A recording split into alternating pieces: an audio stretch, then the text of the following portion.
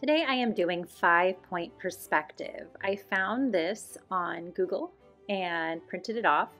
And these are the five points that we'll be using. So one on each side, one on the top and bottom, and there's one in the middle. I find it easiest to start by making the road. So I'm going to go ahead and start with a road that's kind of coming up towards the center. And notice that I'm doing it on one of the diagonal lines radiating out from the center point. If you want to, you can even have your road turn so it looks like it's the corner of the city. So I'm going to go ahead and actually do that on both sides down here on the bottom and have my road kind of turn so that it's an actual intersection that's kind of leading us in. And I think I'm going to have another intersection up here.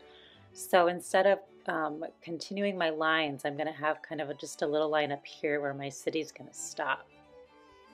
And that's kind of a good place to stop for now. Now I'm going to start closest to the bottom and I'm going to do the corner of a building right down here. And notice that any vertical line that I do needs to follow one of these um, curved lines that goes from the top point to the bottom point. And then any horizontal line that I do needs to go to one of the side vanishing points. So that's kind of the face of my first building. And then the side of my building always needs to radiate back towards that center point.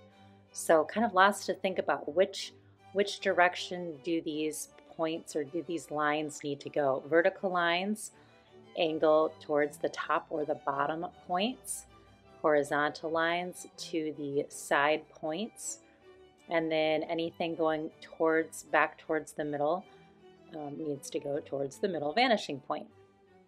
So, you know, it's kind of something that you have to think about as you are working to draw these buildings. Think about are you making a vertical line? Are you making a horizontal line? Or are you making a line that goes towards that center vanishing point?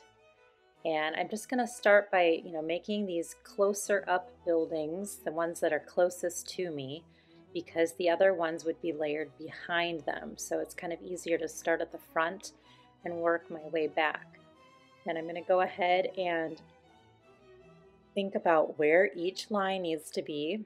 If there isn't a line there, like right here, I'm just going in between two lines, um, but you can kind of eyeball that.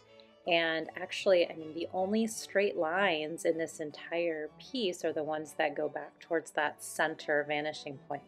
All of the rest would be curved lines. So it's kind of hard to use a ruler on this unless you are using a ruler going back to that center line.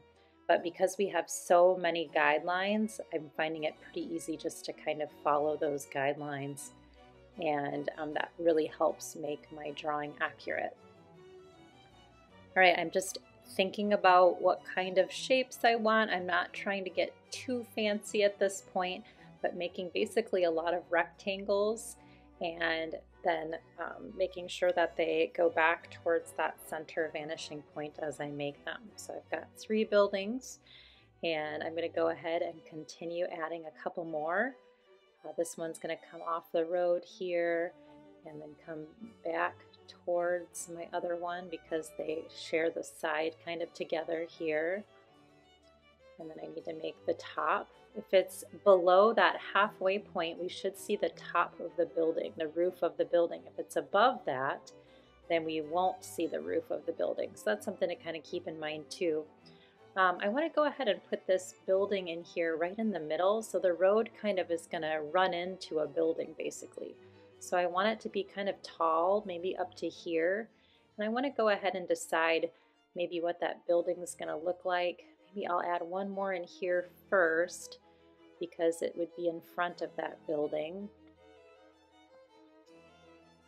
And I have to kind of think about what this one will look like here. Maybe have something going along there. Another one right in here that's a little shorter. And then I'm going to go ahead and draw this little corner right over here. So you can see now I've got like a little block, a city block. And then this is where the street is right here. And I want to go ahead and add this building in the center. So I think I'm just going to draw this bottom section of this building. Maybe it'll be have like some doorways or something along the bottom. And then it'll be a little bit thinner as it goes up. I'll draw kind of a, a building that has a couple different shapes on it. And really this is probably the easiest building to draw because it's just flat on or straight on so you don't have to worry about too many angles. So I can get a little fancier with the design on this building uh, since I don't have a lot of angles to deal with or worry about. And it should kind of come into this other building here. I'm going to make sure that maybe I've got another really tall one right next to it. That's coming down right here. And maybe I'll have one on this side over here too. So I'm basically just trying to kind of take my time to think about where else I want to add buildings. So, you know, if they're farther back, maybe they're a little bit higher up. If they're closer, maybe they don't quite go as high because we're looking at it kind of from a distance right now. So I'm just trying to kind of figure out where these buildings would go. I'm doing it with pencil for now so that if I do need to erase, I can. But at this point, I'm just layering more buildings and more buildings up on top of each other, basically, so that I can have kind of a believable cityscape. Let's see, I'll use these guidelines up here to add a couple elements to my buildings. And you just kind of have to think, okay, how wide is this building going to be? How tall? Um, does it have, you know, parts that should be going back towards the center of the circle here? Then make sure to draw those using those diagonal lines going back towards the center vanishing point. And I still need maybe a, a closer one over here. So I'm going to make one that's kind of on the front on this first block here. And we'll continue to add buildings to my project.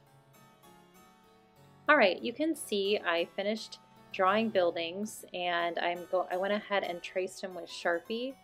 And now I'm going to add details. So the windows and the doors uh, kind of follow the same rules that I had for my buildings. So um, if you're doing vertical lines, make sure that they follow those curved lines that go to the top and bottom vanishing points. If you've got horizontal lines, make sure that they go to those side vanishing points. And then if you're working on the side of a building, that's kind of angled back towards that center vanishing point, then make sure you follow those diagonal lines. So as I work here, I'm just going to use my pen so you can see it a little bit better. And I just want to add various details to these buildings. So I'm putting in some doors or some doorways. I'm adding some lines, you know, those buildings that are covered with glass mirrors or windows, you know, have just a bunch of lines on them. So I can just make a bunch of vertical lines or horizontal lines as long as they follow those curves of my circle here.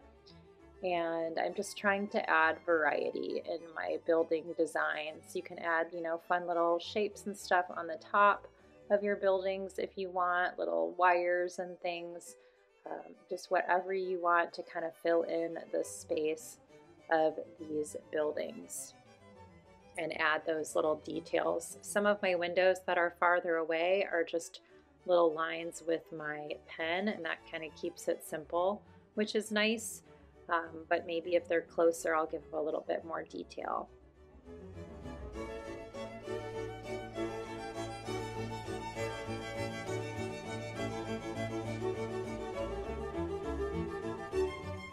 At this point, I'm happy with my drawing and I don't want to be able to see all these guidelines. So because I printed this off, um, I need to trace it. And I can either just trace it on the back, you can obviously see my lines on the back, or I can find a window or a light box or light table and trace it onto a new sheet of paper. Because I used marker, you can pretty much see through, especially if you have a window or a light box behind it. So I'm gonna go ahead and do that. All right, I have traced my drawing onto a new piece of paper so you can see I don't have any guidelines. And now I wanna go ahead and add some color.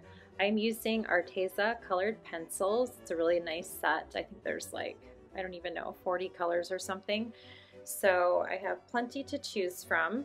And my goal in adding color to my cityscape here is to show my knowledge of blending colors and also maybe using complementary colors here and there to really make the colors vibrate and stand out. So I wanted to start off with my sky since it's kind of the farthest back and I want to blend some colors. So I'm just starting with yellow and I'm blending it into a darker yellow and then I hope to go darker yet to kind of continue to blend. And the best way to blend with colored pencils I've found is just to basically overlap your colors a little bit. So I'll take my color a little bit farther than what I actually want it to go. And then that way, when I start the next color, I can kind of color over my previous color a little bit and try to get them to mix and blend. So that's kind of a good exercise that I can practice. You can see as I'm adding this orange, I'm overlapping the yellow a little bit so that the two can kind of blend together. And I could even go back with my yellow again and overlap the orange again if my blend is not a smooth blend. So um, you can kind of experiment with the pressure that you do, pushing down lightly or pushing down hard so that you get really a nice vibrant color but this is a great way to kind of experiment with that blending technique. And I plan on using this blending technique as I color the sky, the road, and all of the buildings as well. So I'm just going to continue um, working on my sky. Next, I'm going to try to get a pink blend. Um, remember too, when blending colors, it usually helps to blend colors that are next to each other on the color wheel so pink would be basically kind of like red and that would blend nicely um, with the orange because red and orange are together. Here I'm working with blue and purple, which are also close to each other on the color wheel, so they blend nicely together as well. So kind of thinking about that as you work so that you're not blending colors together that don't really make sense and you can always, you know, try to, to do white on top to help blend as well. Now, as I'm working on these buildings, you can obviously see that I've sped it up very quickly, um, but I'm trying to consider the light source. So right now, the light is coming from the back, right? The sun is behind the buildings. So I'm hoping to make the front of my buildings a little bit darker and then the sides a little bit lighter. And voila, there are my buildings. Um, I fast forwarded just a little bit. Now I'm working on windows and for the windows I wanted to go with the complementary colors. So if you're looking at a color wheel, these are the colors that are opposite each other on the color wheel. For example, I used yellow in my purple buildings or purple on my yellow buildings. And blue and orange are complementary and green and red are complementary. So I did really kind of this light green with pink instead. But yes, I thought that would be kind of more impactful to use these complementary colors. And then you can also see that I've added a little bit of blending like in the windows and on the buildings as well, just to show that. So I hope you enjoyed watching me tackle this five point perspective drawing. This is actually the first time I have done five point perspective and I had a lot of fun trying this out. I'm excited to try other scenes as well. Now that I have finished my drawing and coloring, I'm going to go ahead and sign my name. I usually do an L for Lori and then Ehlke, E-H-L-K-E. So thanks so much for watching and let me know how this goes. I hope you have a good time working with five point perspective.